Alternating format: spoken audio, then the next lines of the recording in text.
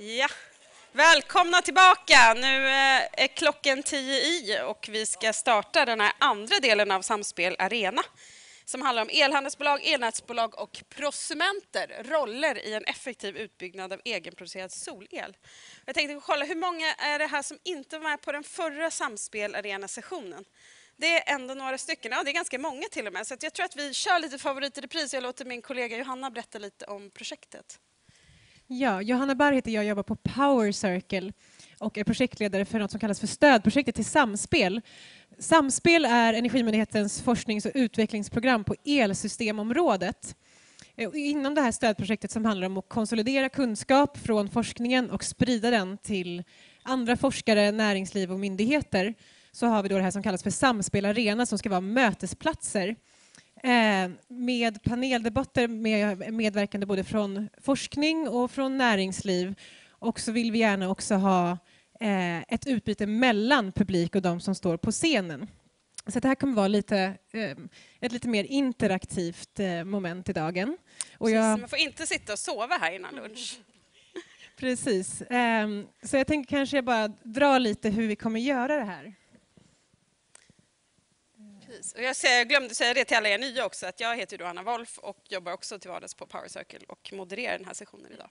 Jag tror inte att jag behöver någon slide för att förklara det. Men vi kommer börja med tre stycken presentationer från både från Samspel och från El från solen, så två olika forskningsprogram när vi är här idag på Solforum. Och sen så efter varje presentation så kommer ni ges möjligheten att prata med er bordsgranne och ställa frågor via Menti. Vi kommer förklara hur det här eh, går till när den tiden kommer. Eh, och de här frågorna kommer vi sen då försöka få med upp i paneldebatten så att det blir ett sätt för er att fida in vad ni vill att panelen ska prata om. Eh, och sen efter de här tre presentationerna då, så kommer vi då ha den här paneldebatten.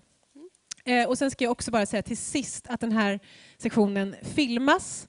Eh, ingen av er som sitter i publiken syns, så ni behöver inte vara rädda för det om ni skulle vara det.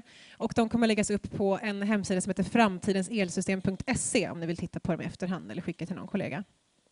Så vi kör igång med en liten övning då, Johanna? Ja, det tycker en, jag. Vi, vi får in alla på Menti. Ni, ni som var här förra gången, ni får värma upp en gång till här. Men det är alltid bra när man har haft lite rast och, och värma upp. Så vi kör en Menti-fråga här. Um, det där var inte rätt, va? Är det? Okej. Eh, vilken aktör? Nej, jag tror inte att det där är rätt. Okej, vi, vi kör den ändå. Vi, vi, vi, vi, den här skulle vi ta med oss till paneldebatten, men jag tycker det, det kan ju passa ganska bra. Då har vi redan svarat på den, så, så plockar vi med oss svaren sen till paneldebatten. Alltså, vilken aktör driver starkast på utvecklingen av egenproducerad solel idag, tycker ni? Så koden har ni då, ni Precis. går in på menti.com på mobil eller dator och så har ni koden uppe i högra hörnet där. Mm. Och sen kan ni ligga kvar på den Menti-sidan under sessionen för det är även via där som vi kommer, ni kommer kunna ställa frågor på presentationerna som ni har. Och rösta på andras frågor så vi kan få upp de allra mest relevanta som ni i publiken sitter och klurar på här upp på scen sen under panelen.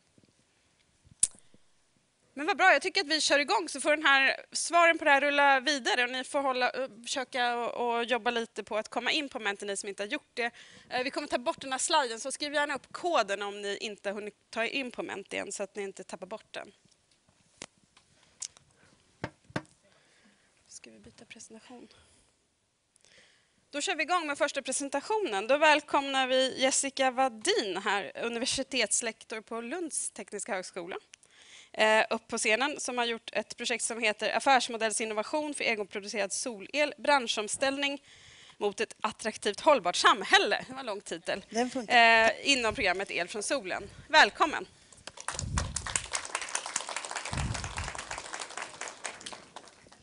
Tack! Ja, precis. Jättekul att vara här. Eh, jag kommer från eh, Lunds universitet som sagt och eh, en avdelning som heter innovationsteknik en möjlig väg framåt för en hållbar omställning av samhället kräver att massmarknader ändras och blir mer hållbara. Detta innebär att också att stora bolag har en viktig roll i den här omställningen om vi ska kunna ta stora kliv. Den här studien handlar om eh, två stora elbolag i Sverige som har eh, funnits under väldigt lång tid och vi har tittat på hur de har försökt ändra sin affärsmodell eller introducera en ny affärsmodell i sina bolag. kontexten väldigt snabbt. Vi känner igen det här. Sverige har haft under en lång tid ett stabilt läge med eh, storskalig energiproduktion. Man skulle kunna säga att de här stora bolagen, det är liksom i deras DNA att bli mer effektiva i sina processer för att kunna tjäna pengar eller ja, spara pengar också i små delar i sina system. Ehm, men man skulle kunna också säga att den här jämvikten håller på att punkteras, eller den har punkterats. Ehm, I samband med omställningen till ett hållbart samhälle och nya, en ny energimarknad där vi har, ser introduktion av bland annat eh, solel till privata kunder som innebär någonting helt annat. Vi har många små system som ska fungera. Den fråga som vi har ställt oss är hur kan de här stora bolagen ändra sin affärsmodell från att vara då produktbaserad till mer servicebaserad eller kundcentrerad. Och de två studier som vi har gjort, som sagt, ett stort bolag som plockade upp en idé från ett lite, en startup där de tillsammans utvecklade en ny affärsmodell. Och sen så har vi även tittat på ett annat bolag där eh, man utvecklade det här mer inom bolaget. Det fanns också ett samarbete med eh, en startup i början, mer ur ett lärandeperspektiv. Eh, de här studierna har pågått under ett respektive fem år. Så vi har gjort djupintervjuer, workshops, observationer och liknande. Och det vi har tittat på då är att vi har försökt förstå hur och analysera hur affärsmodellerna har förändrats, vilka förmågor behövs för att ställa om de här affärsmodellerna. Ehm, så att om ni föreställer er ett höghastighetståg, kanske Shinkansen, som rullar fram i väldigt hög fart, som nu ska faktiskt ställa om till att bli en cykeltjänst. Då inser ni att det här är ju jättestora utmaningar. Det är inte gjort över en natt. Först kan vi väl kanske fråga oss, vad är en affärsmodell? Jag vill säga att det handlar om att skapa värde för kunderna, kunna leverera det här värdet, men också att fånga ett värde för företaget.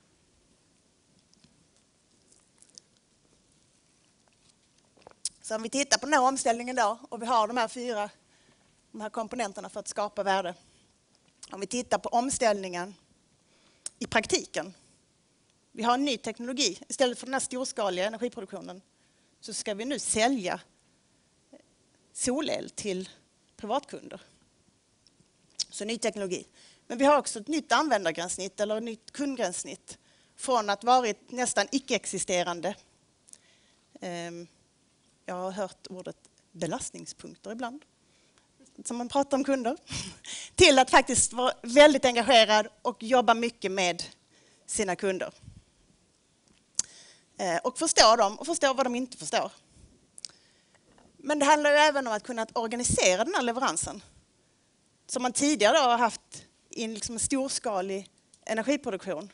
Och nu ska man börja designa systemen, man ska köpa in hårdvara, det ska levereras och det ska installeras och underhållas. Det här är någonting helt annat. Och intäktsmodellen ser också annorlunda ut. Så från att verkligen liksom haft den här mekanistiska effektiviseringsmindsetet så ska vi nu ta betalt på ett annat sätt för komponenter och service och liknande.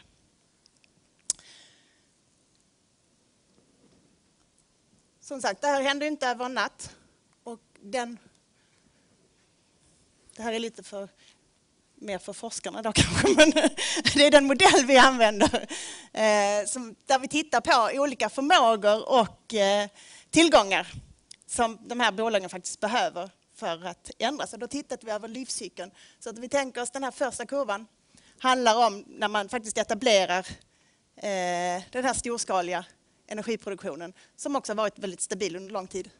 I den här punkten, det står selection of event, här inför man den här idén kring solenergi för privatkunder.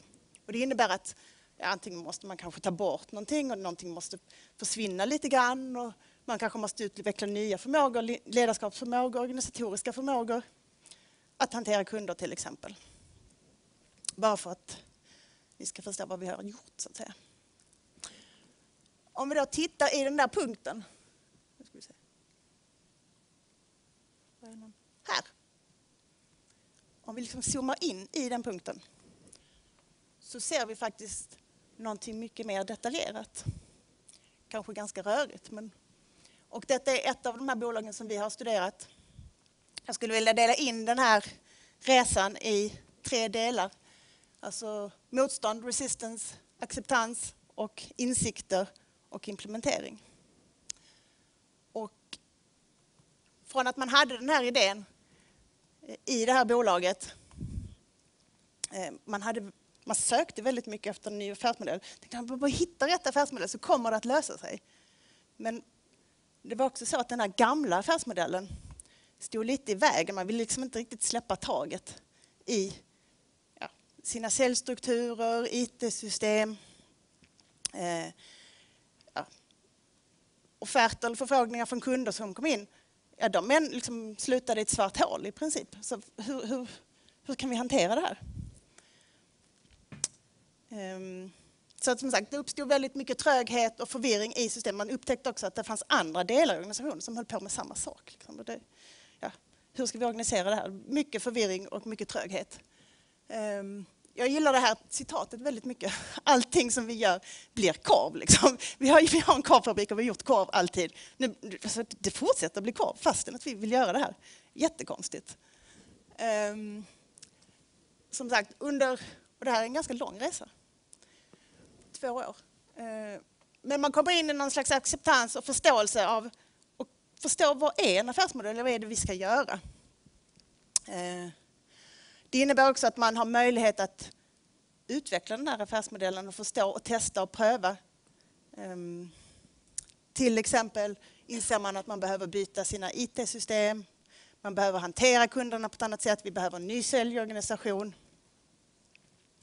Nya rutiner, utbilda nya folk och ha inte minst ett dedikerat team för det här. Då. Och i ett tredje skede där, oops, nu är det bortom här. implementering där man faktiskt också kan bygga sin egen fabrik och, och pumpa på helt enkelt. Väldigt kort. Eh, också lite om vilka möjligheter som ett storbolag och hinder har. Eh, stor möjligheter och hinder som ett storbolag har. Naturligtvis en stor kundbas att bygga ifrån. Eh, finansiellt stärka, också möjlighet att förhandla. Eh, hårdvara, vilket vi inser, och handla med el. Det, det säger sig själv. Men barriärerna här är naturligtvis konkurrerande erbjudande i organisationen. Varför ska vi investera i någonting nytt när vi har ledig kapacitet redan? Det, det kanske inte stämmer. Här finns en konkurrens om resurserna. Men också organisatoriska barriärer. Försäljning, IT, kundrelationer. Också kognitiva barriärer. Vi har ett mindset från den här storskaliga produktionen som inte är kompatibel. Eh, som sagt, i båda fallen och även i tredje fall så har vi sett att man, man letar efter en holy grail, alltså det här i väldigt tidigt skede. Eh, och även om man har en strategi för att ändra så är inte den här nya affärsmodellen kompatibel med den gamla organisationen. Helt enkelt. Och, ja, man har fått motstånd. Jag vill också säga att det vi har sett i det här fallet med eh, med samarbetet så har även då eh, det stora bolaget kunnat hjälpa den lilla att faktiskt etablera den här affärsmodellen. Som sagt, en affärsmodell är en abstrakt idé och vi behöver förstå vad en affärsmodell är för någonting för att också kunna undanröja de motstånd som finns och anpassa till en lokal kontext. Lärande, flexibilitet är viktigt. Så, nu. Tack så mycket. Gick snabbt på slutet. Tack. Ja, tio minuter är inte så lång tid, det var roligt. Tack. Står kvar. Stå kvar nu. Men, eh, stå kvar en liten, liten, liten stund bara. ja, okej. Eh, Jag tänkte vi ska ställa någon fråga. Först ska vi se, har vi någon direkt fråga här på presentationen i publiken som är direkt till Jessica? Eh, Vi har en där borta. Medan Johanna springer dit så tänkte jag på... Det här är ju baserat på två fallstudier som jag förstod den här forskningen. Superintressant. Hur skulle du säga, liksom, baserat på andra studier och vad du har hört, är det här representativt för, för energibolagen eller nätbolagen i Sverige? Eh, ungefär att det går till på det här sättet eller är det väldigt unika förutsättningar hos de här bolagen? Eller? Nej, det skulle jag inte tro. Jag, jag vet inte om det är någon som... Jag, jag skulle gissa att de flesta stora bolag känner igen sig. Det, det, Kanske får ställa frågan här i panelen får vi se. Det är några som sitter och nickar i alla fall. Eh, vi hade en fråga från publiken där borta. Ja, Fredrik Klavén, Handelshögskolan i Göteborg. Har du sett några exempel på hur man försöker separera den nya verksamheten från den gamla? För det ser man ju ofta i de här transformationsfallen. jag har sett försök till det och, jag, och det är ju också en, det är ju vad eh, litteraturen säger, att man bör liksom separera den här för att den- man ska kunna få en egen enhet men, och nå liksom, ja, självständighet så att säga. Ehm, så att ja, jag har sett. Om det är svar på din fråga, om de är mer framgångsrika eller inte, det, ja kanske. För det är ju rätt typiskt att man äts upp av den etablerade verksamheten annars. Det stämmer. krävs nya KPI och så Ja, vidare. Precis. Det är stämmer. ett väldigt spännande forskningsområde det här med organisatoriska förändringar. Vi ska gå vidare till den här delen när ni ska få prata med varandra lite runt borden. Så, så ta ett par minuter och diskutera lite vad, vad ni tror om de här frågorna som kom upp. Och så skicka gärna in då på Menti om ni har frågor, fler frågor till Jessica eller frågor ni tycker vi ska beröra i paneldiskussionen. Eh, så tack så mycket. Ja, då börjar det bli dags för nästa presentation. Vad kul att det är så mycket diskussioner här i rummet. Jag tycker det är båda gott inför panelen. Jag hoppas att vi har fått in många frågor också här på Menti. Eh, Då ska vi välkomna upp Erik Ahlgren eh, från Chalmers, biträdande professor på Chalmers. Välkommen. Tack. Scenen är din och du har Tack. en sån här pekare någonstans där också som Ja. bläddrar. Och ska vi se, Precis. höger, vänster, ja. Nej, fint. Tack. Eh, Eh, jag är Erik och en stor del av arbetet jag presenterar är gjort av min kollega Sujita som presenterade igår under samspelssessionen. Den långa titeln om eh, prosumenters roller eh, kommer jag inte beröra så mycket, men det är vad vårt projekt, vårt samspelsprojekt handlar om. Men där har jag inte några resultat än. Den röda titeln däremot är någonting som vi gjort och som lett fram till det vi kommer att arbeta med, med prosumenter om, det vill säga en modellbaserad studie om solelsdiffusion. Eh, igår var det regnigt i Göteborg och eh, inte så mycket sol.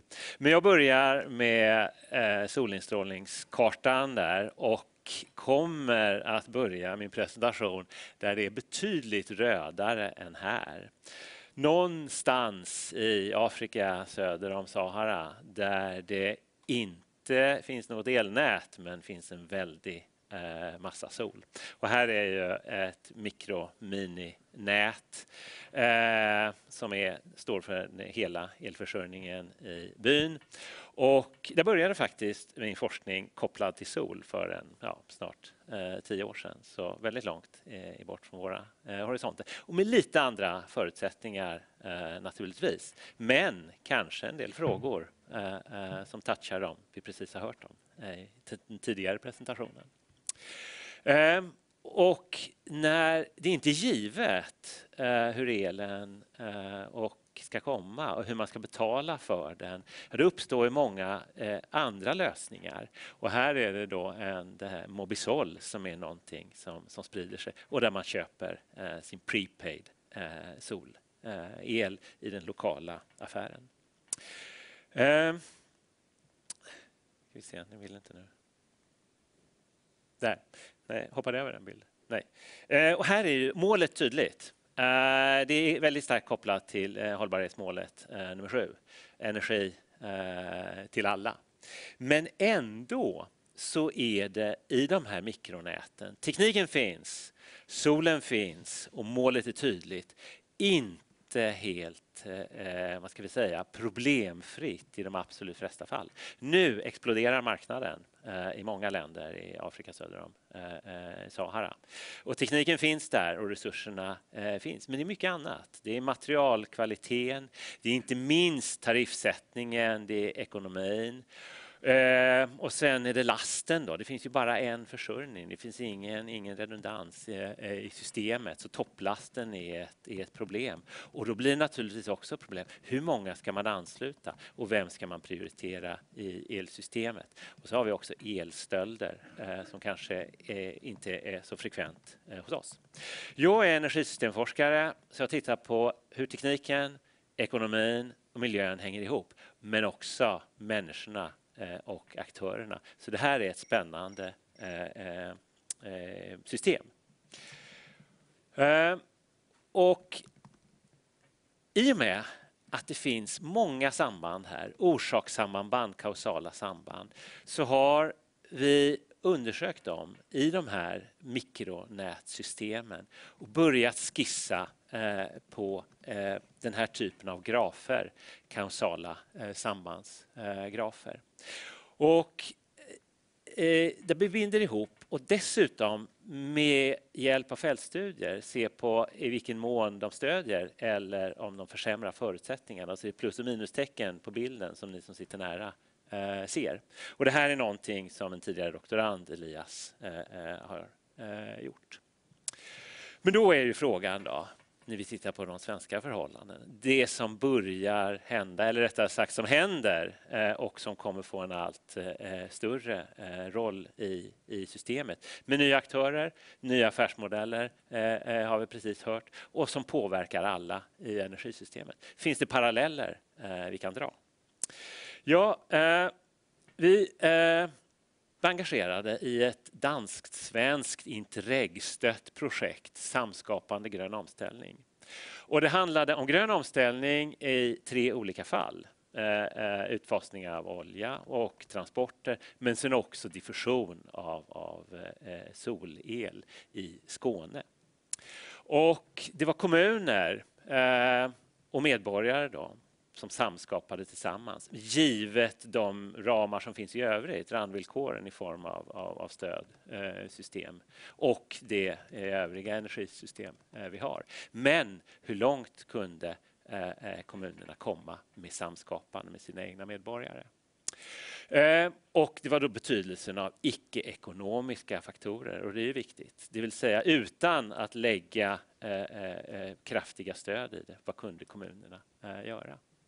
Eh, det ledde till en artikel och den är baserad eh, på ska vi se här, eh, ett, att vi, det, det skånska fallet. Och här har vi både Johan och Markus närvarande, vilket är jätteroligt för det här är tack vare er som detta har kunnat hända. Och vi följde inte rent fysiskt i spåren, men genom intervjuer och försökte förstå hur hela systemet fungerar och vilken påverkan eh, Eh, ni på olika sätt kunde ha på att eh, solcellsdiffusionen eh, eh, ökade och premierades. Och då använde vi den samma metod som i fallet med mininätet i, i Afrika. En systemdynamisk modell som börjar med att identifiera de centrala eh, lagren i detta, stocks på engelska, och vilka flöden som finns. Och det här kan vi sedan modellera med hjälp av differentialekvationer över tiden. För vad vi ser på är mycket hur kan processerna på olika sätt styras med hjälp av samskapande men också med hjälp av policy eh, eh på olika nivåer.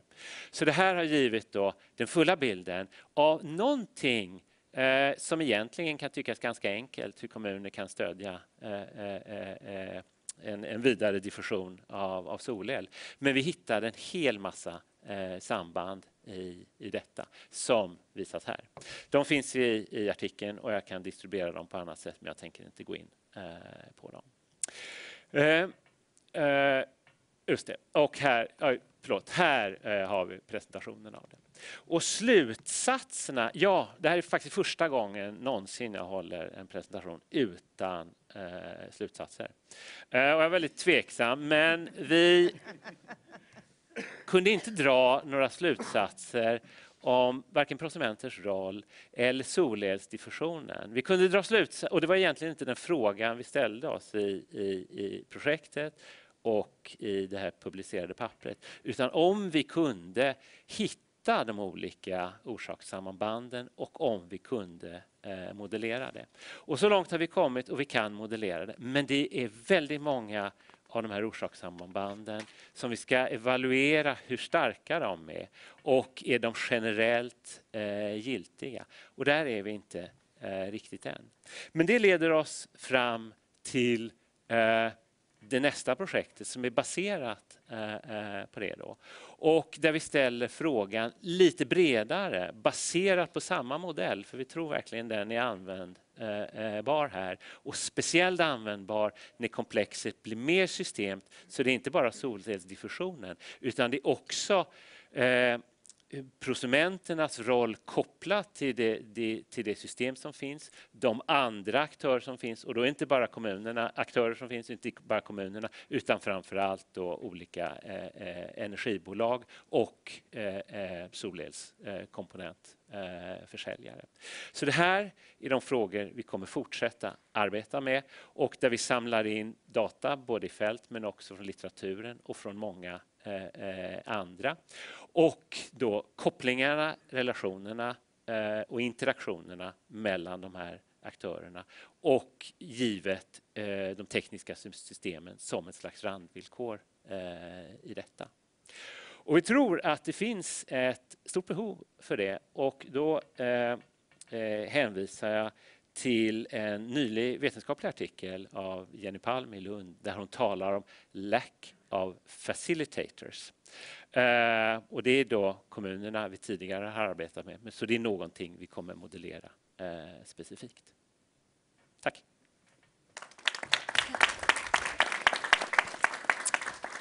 Tack så mycket, Erik. Det är ju alltid spännande det här med forskning liksom, som håller på och pågår i sin linda. Det är därför lite roligt med de här samspelarenorna. Man får, man får veta om projekt som är på gång och pågår. Vi ser mycket fram emot resultaten här. Jag tänkte kolla bara, har vi någon fråga från publiken direkt till Erik på det här? Annars tänkte jag ändå så här, försöka tvinga dig lite. Jag vet ju som forskare, gammal forskare själv också, att man helst inte vill prata så mycket om saker man inte kan belägga. Men, men om du ändå får gissa lite. Jag tänker så här, du måste ha någon magkänsla som ändå har jobbat med de här frågorna och tittat på orsakssambanden och parallellerna med Afrika och sådär. Eh, vad är liksom den viktigaste faktorn för att få till den här diffusionen? Jag tycker, man hör ju till exempel mycket om det här med grannarnas påverkan och att det sprider sig i områden och sådär.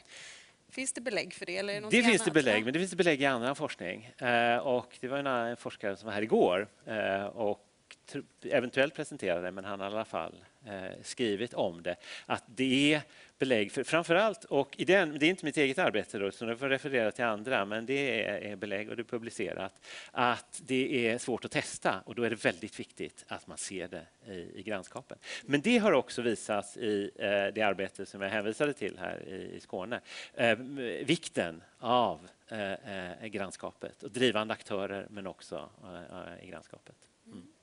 Spännande. Är det något annat så här, nytt samband med ni har hittat ändå som du kan flagga lite för?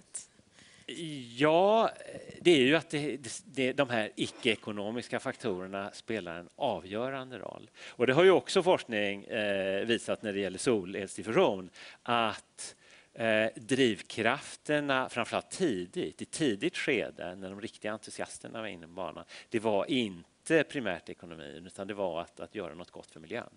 Eh, men att ekonomin har blivit allt mer viktig med tiden, just när det gäller eh, eh, solel. Spännande. Då tror jag att vi helt enkelt kör vår övning som vi pratade om innan, att ni får prata lite med grannarna om hur ni, vad ni tror om det här och gärna skicka in frågor på Menti då i några minuter. Tack, Tack så mycket.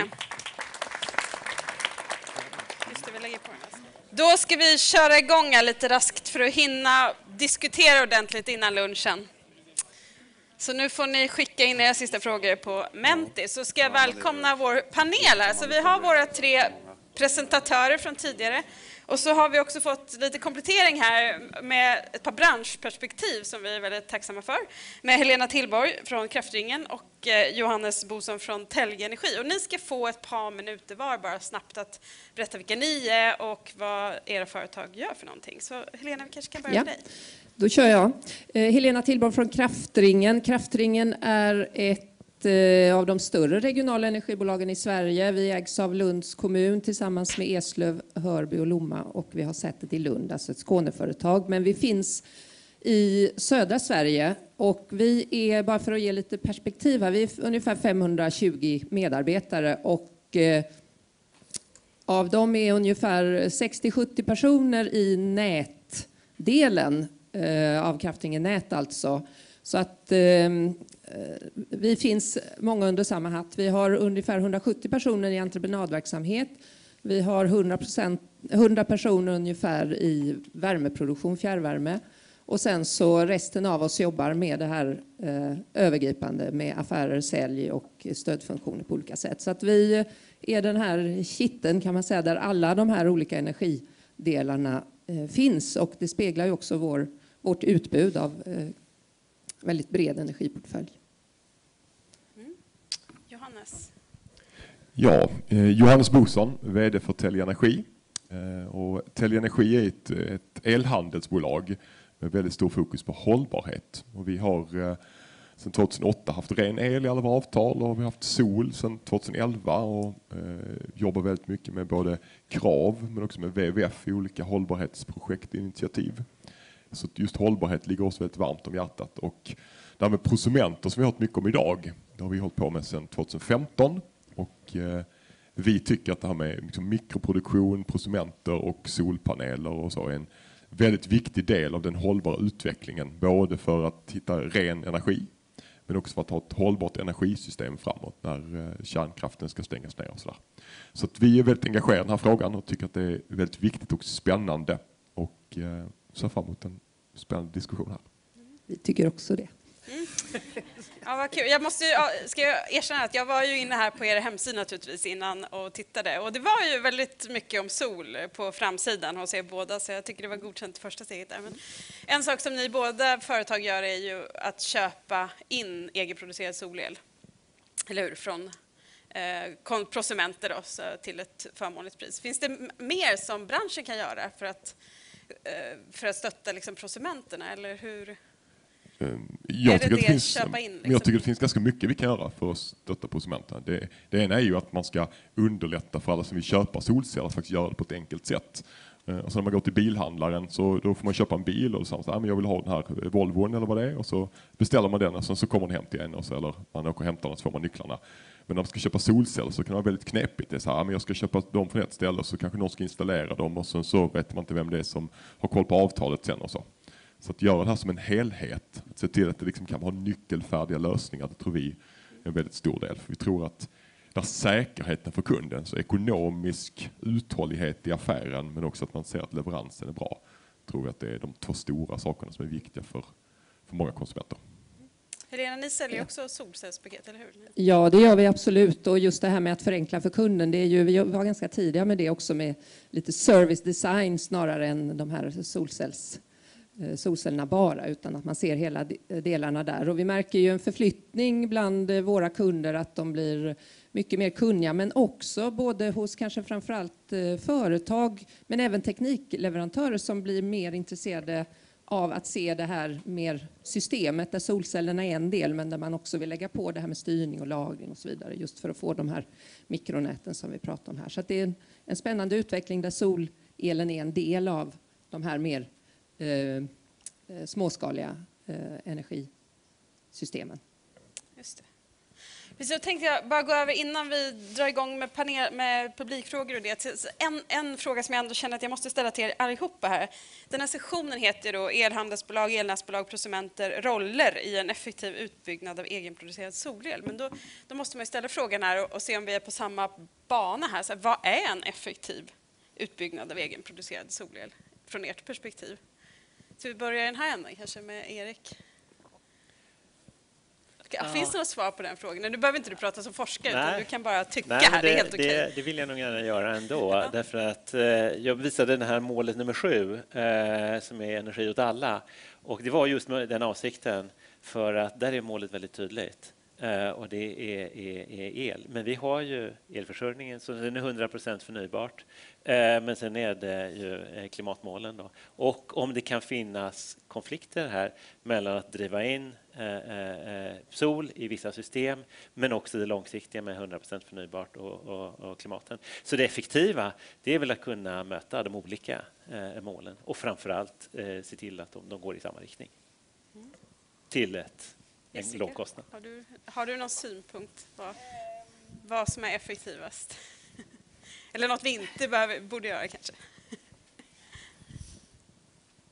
Ja, framförallt så tror jag att vi behöver, ja, vi behöver en samverkan. Och, alltså, det, är inte, det är inte ens ansvar, utan det är mångas ansvar. Ehm, framförallt hur vi kan skapa och dela det värde som vi, som vi behöver för att eh, nå en hållbar omställning i energisystemet, skulle jag säga. Mm. Mm. Från enhandlarperspektivet, vad, vad är en effektiv utbyggnad? Då skulle jag vilja gå tillbaka till det Petter pratade om. Att man har både kunder och man har ett system och vi behöver hitta en lösning som är, fungerar både ur ett kundperspektiv, där det är enkelt för dem och där de vill, där de efterfrågar det här och där de kan liksom köpa produkterna på ett bra sätt och att de känner att det finns en ekonomi i det. Men också att det fungerar systemmässigt. Och så funkar det inte med det elnätet som finns, då blir det ju väldigt knepigt att få det där att, liksom, att gå ihop. Så jag tror det är väl de två aspekterna vi behöver att titta främst på, att få, få ihop. Mm.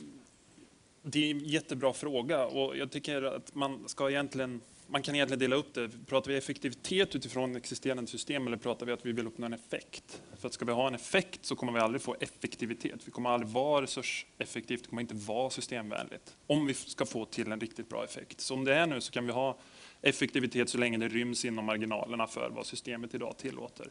Och vi har ju sett hur expansionen stannar av i 5-7 procent, 8 kanske, i de flesta marknaderna i Europa hittills. Så att, och vill vi ha effekt, då måste vi tänka på något annat och då måste vi släppa lite av det här, äh, de här hjulspåren som vi är inne i. Ehm, Intressant, lite provokativt. Vi kanske mm. får återkomma till den sen. Mm. Men först Helena, har du någon? Ja, nej, jag bara tänker så här att eh, om man ska vara effektiv så är det svårt att göra bara en sak i taget, utan det är just det här med att få energisystemet att hänga ihop, både då med värme och gas och att, att man ser till helheten där, men också att vi fokuserar på användningen av el och energi, hur, hur vi använder den. Så att det är liksom ett sånt där allmänt inspel. Att, eh, jag tänker nu när vi ska vidare i den här diskussionen om, om olika aktörers roller, ska vi återgå till den här frågan som vi spelade in i början här och se om ni har svarat på den eh, på Menti. Vilken, precis som vi får upp den här, vilken aktör som idag driver starkast på utvecklingen av egenproducerad eh, solel? Vi kanske kan... Ja, men här, titta här får vi se vad publiken har svarat. Det är en eh, liten tjusig animation här. Ehm, um, solelsföretagen eh, och konsumenterna skulle jag säga vinner överlägset i den här. Det är lite bakläxet till politikerna ser det ut som. Eh, om, man om man frågar vår publik i alla fall. Vad, har ni några reflektioner i panelen på, på det här resultatet? Håller ni med om det här?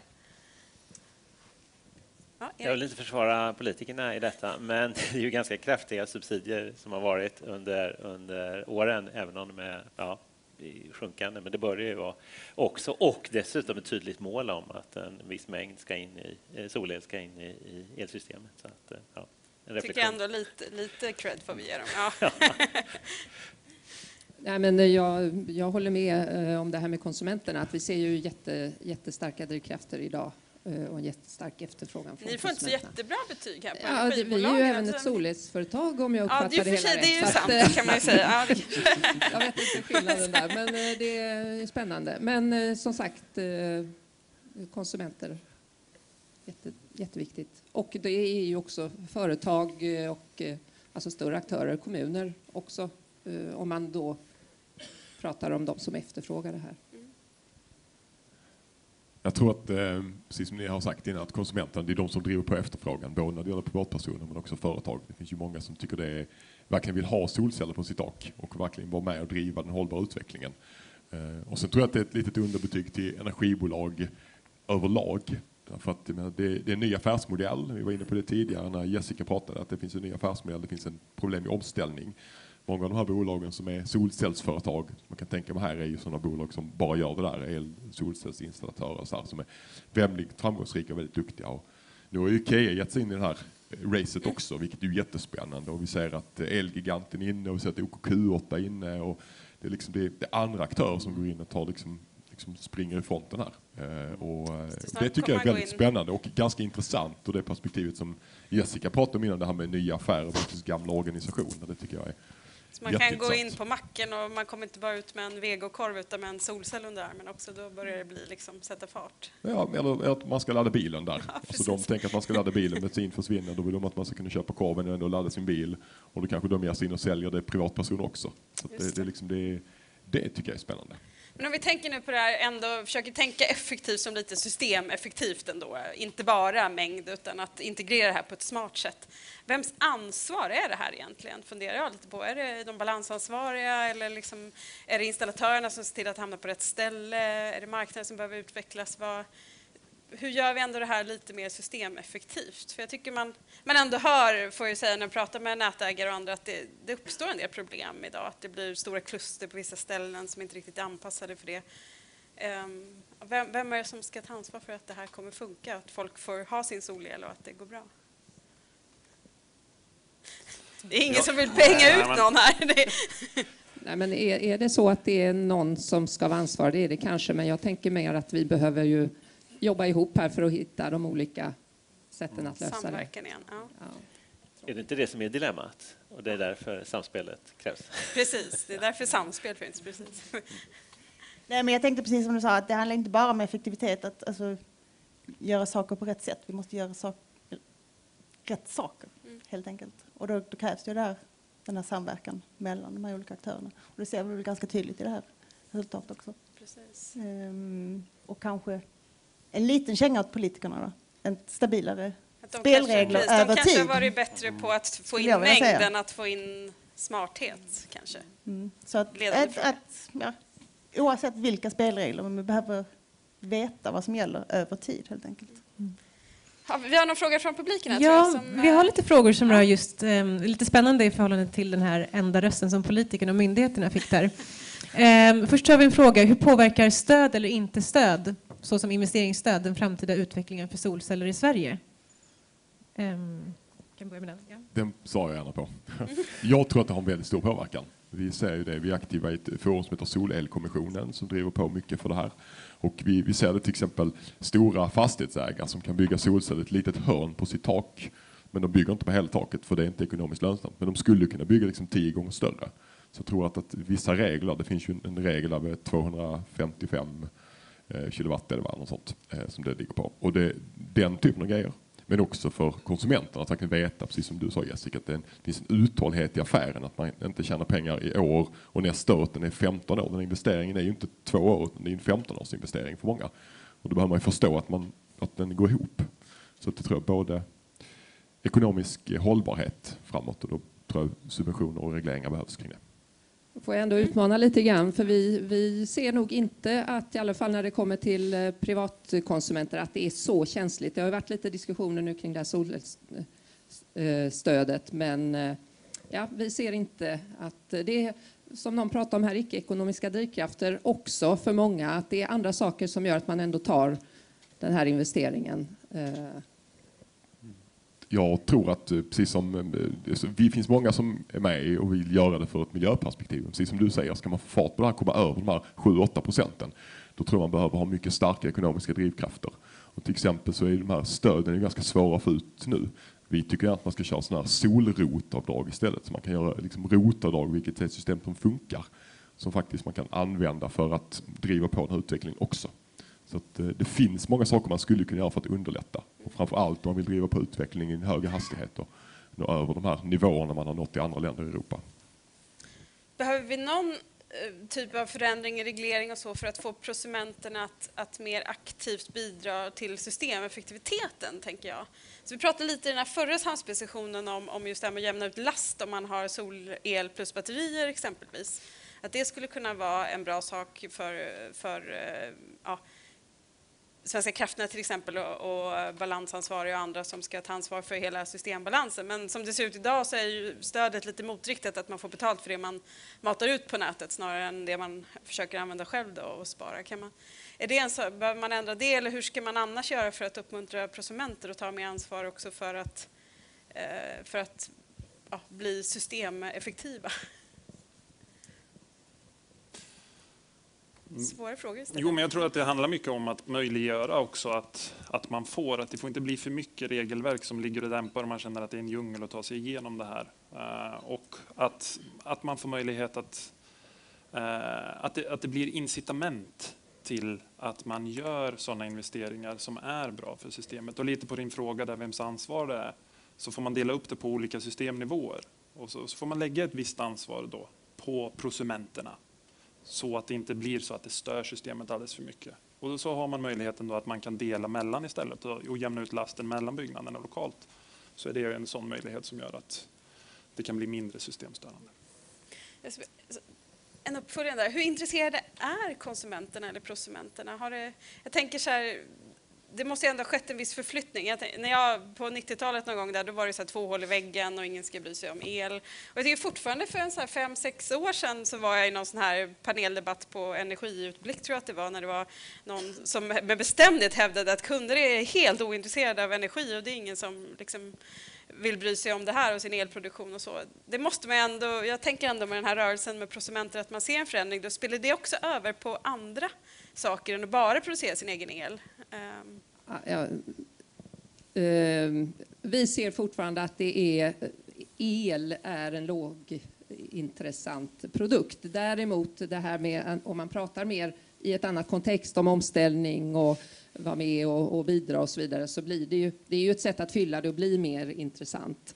Ehm, men, men på din fråga här kring vad, vad man som prosument är intresserad av att hjälpa till med lastbalansering. Nej, alltså än. där måste ju vi som energibolag vara lite, lite bättre på vi att måste bli bättre på att paketera det lite snyggare Ja, helt det, enkelt. det tycker jag helt klart.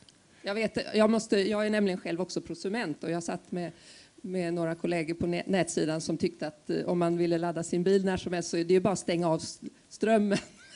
som också då eh, prosument så tyckte jag att det, det är inte något som jag vill vara med om att, att det händer. Det är Utan, inte rätt sätt. nej, utan eh, vi, vi får lite smidigare där som nätbolag tror jag. Eh, Jag har själv en, en erfarenhet av det. Jag jobbade på ett av de större energibolagen här 2011-2012 och så var jag borta från branschen och sen kom jag tillbaka nu det här i somras. Det är en otrolig omställning i intresset, kanske inte för el men för hållbar el och hållbarhet och, och liksom miljö. Även solceller och elbilar är ju väldigt i ropet. Så pratar man om den typen av saker, då är det jättemånga som är intresserade. Då är, då är det inte bara att vi ökar intresset, då finns ett väldigt stort intresse upplever jag. Och, eh, det här med laststyrning och så, tror jag, om man ska gå in på det. Så jag själv haft en elbil, och, eller har en elbil ska jag säga, i början. Så liksom när jag kom hem och satte in eluttaget och sen började jag eh, liksom, laga mat och sen så satte jag igång tvättmaskinen. Då gick proppen alltid. Så första två veckorna så bara, ja just det, det var det där igen ja. Mm. Och det är liksom den proppen i mitt hus. Men om alla skulle komma hem och sätta elbilen klockan fem och sen börja laga mat, då går den stora proppen i systemet. Och när man inser det, då tror jag att det kommer finnas en vilja från konsumenter att faktiskt också styra sin last. För att det är någonting som, då finns det en funktion för mig. Liksom det funkar inte ut om jag inte gör det. Så att jag tror att eh, när vi kommer lite längre fram så tror jag det finns det. Jag tror att eh, vi ska nog vara lite försiktiga här. Vi är ju liksom ett gäng med redan frälsta. och eh, väldigt färgad av det här naturligtvis. Eh, Johan Lindahl, du får rätta mig om jag har fel. Eh, ökningen var 50 procent från 2017 till 2018. Solel, stämmer det? det är, ju- ja. Det är ju jättebra, men vi är fortfarande bara uppe på vad var det, 0,3 procent. Och eh, att fatta beslut, jag menar jag tror inte att det är någon i Sverige som säger att den här frågan inte är viktig. Men steget från att liksom säga att det här är viktigt till att fatta ett beslut om det, det, det kan vara ganska stort. Så det måste vi komma ihåg. Vi har en till fråga från publiken här. Ja, jag tänker när vi ändå är inne på ehm, information till, till konsumenter och vad som driver dem så kommer en fråga som kanske är lite speciellt riktad till Erik. Då. Men, eh, hur kan kommunerna hjälpa till att främja solelinstallationer?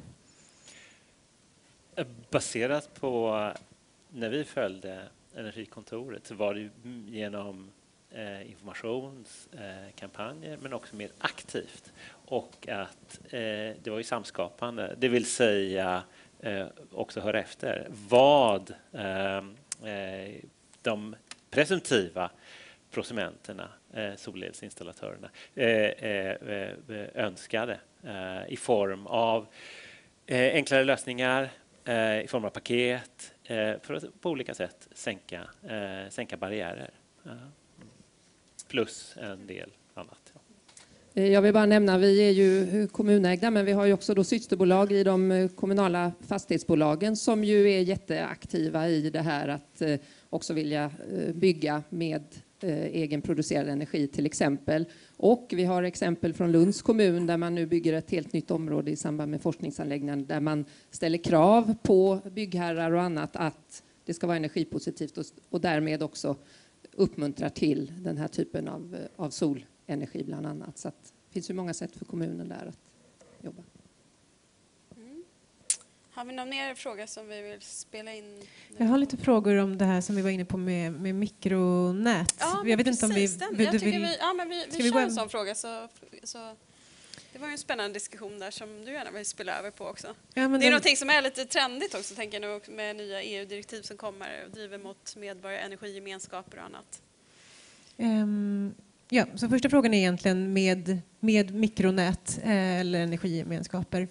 Eh, vilken roll har både då elnätsbolagen i det här men också energibolagen eller elhandlarbolagen?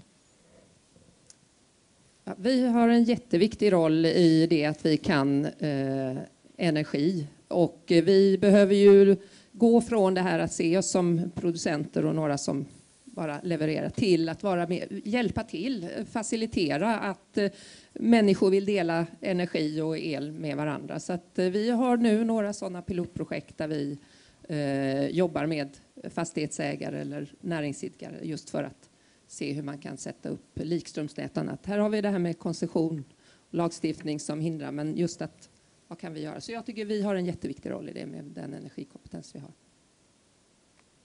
Jag tror att potentiellt så har ju alltså branschen nu har ju potentiellt en väldigt stor roll att gå in i de här mikronäten. Sen så som, som jag sa tidigare så tror jag det är otroligt viktigt att man inte försöker eh, kopiera samma upplägg som man redan har på mikronäten utan att man faktiskt tillåter. Nu ska Energimarknadsinspektionen göra en tolkning av det energipaketet här och presentera den om någon månad. Och det blir otroligt intressant att följa om de om de förstår potentialen i att man har ett mikronät som är löst kopplat till elnätet. Man sätter upp ett krav på, okej, okay, ni får inte störa elnätet, så här, vi har något protokoll här hur ni har utbyte mot resten av elnätet och ni måste vara stöttande. Men därutöver så kör på, testa, ha lite olika och då kommer vi få innovation, vi kommer också få det är där frågan effekt eller effektivitet. Har man innovation och mycket disruptiva innovationer så, där, så har man också väldigt mycket förluster, man tar stora risker, det är många som kommer misslyckas och så vidare. Men det långsiktiga är ju antagligen att det kommer att vara mer resurseffektivt än att vi försöker bygga på det existerande som vi har. Så jag tror att det finns en jättepotential i att vi bygger upp de här parallella systemen utifrån logiken förnybart direkt. Um, än att vi ska tvinga in det i det existerande. Håller du med om det? Erik tänker lite, du som har tittat på Afrika, där har man ju börjat från en annan ände. Liksom. Där har man börjat från scratch på något vis och byggt upp de här mikronäten. Det, har vi en fördel liksom, av att ha ett fungerande elsystem eller blir det snarare svårare att börja, försöka börja om på nytt? Eller hur? Det som Petter nämnde, det där väldigt viktiga att en, fortfarande kabeln finns där eh, för att klara eh, klara lasten. Men det finns ju, vi har ju regleringar ett, eh, i, inom, i, på en hel massa sätt. Då. Och en, dessutom, vi eh, vet hur efterfrågan ser ut eh, och eh, lastvariationer på, på efterfrågan.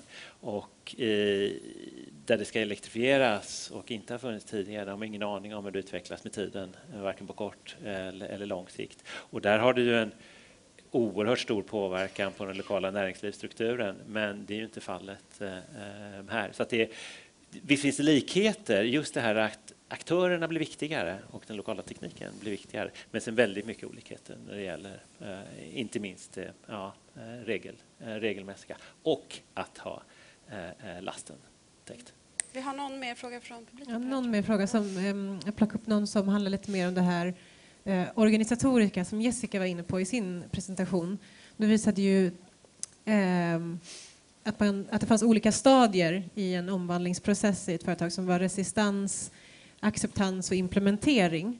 Um, var ligger elnätsbolagen respektive elhandlarbolagen i den här processen? Mm. Ja, vi är ju både och då.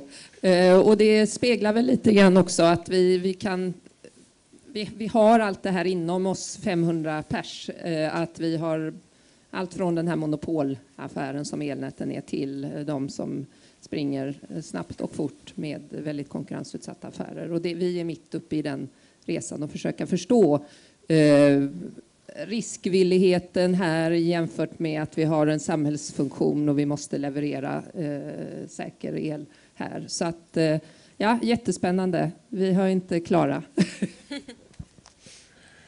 Jag skulle säga att vi, eh, vi började med det här 2015 och ger oss in i det här med mikroproduktion och sådär.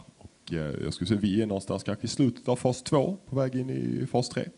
Vi har beslutat att vi ska lägga det själv som en egen organisation som bara jobbar med solceller och solaffären och verkligen fokusera på det eh, ordentligt. Så att, eh, vi har börjat att få till, kommit ur där virvaret inom fas 2 och börjat att reda ut och kunna komma förhoppningsvis ut med någonting som verkligen funkar. Eh, det känns, En det känns väldigt relevant. där, Helena, på det. Och sen ska vi... Jag tänkte bara kommentera det här med att separera olika affärer. eh, För att det finns ju naturligt och det finns teorier kring det. Det vi ser som ett väldigt brett energibolag det är ju det att om vi tittar utifrån kundens perspektiv som vill ha en helhetslösning, en energilösning, så är det inte en, enstaka utan det är just den här helheten som vi kan jobba tillsammans med kund. Så att i nuläget i alla fall så ser vi en fördel i att ändå ha alla de här delarna i en organisation. Spännande. Nu tror jag du får, precis, du får spara din replik till avslutande rundan här för att vi har inte så många minuter kvar. Jag tänkte att ni ska få superkort eh, varje person här, skicka med liksom ett litet önskemål till, till de andra spelarna. Liksom, vad vill ni ha forskarna som nästa steg för att det här ska ske på ett effektivt sätt?